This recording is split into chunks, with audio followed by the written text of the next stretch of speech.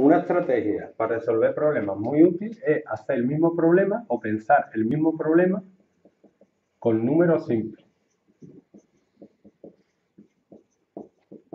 Entonces, ¿cómo te dice ese problema? Un melón de... De 2 kilos como uno. Bueno, pues voy a pensar, un melón de 2 kilos cuesta... ¿cuánto? 5,25. Pues yo voy a poner que cuesta 6 euros, ¿vale? Y te pregunta cuánto cuesta un melón de... 1,86.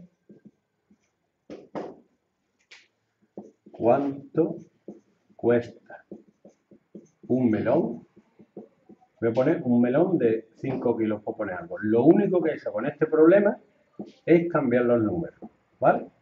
Tienes que pensar este problema con estos números. A ver, si un melón de 2 kilos cuesta 6 euros, ¿cuánto te cuesta un kilo? Eh, 3. 3 euros. ¿Has visto qué fácil? Tienes que saber la operación que tienes que hacer. La operación que tienes que hacer.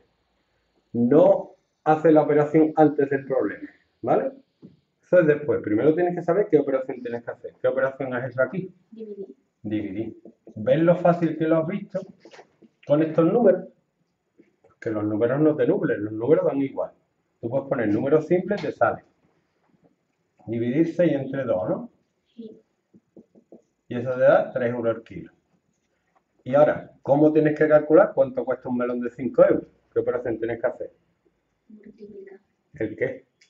Eh, 3 euros Ajá, por 5 kilos. ya está. Y luego tienes que multiplicar estos dos números. Entonces ya sabes las operaciones que tienes que hacer. Ahora solo tienes que hacerlas. Pero con números simples se ve muy fácil las operaciones que tienes que hacer en el problema se entiende mejor.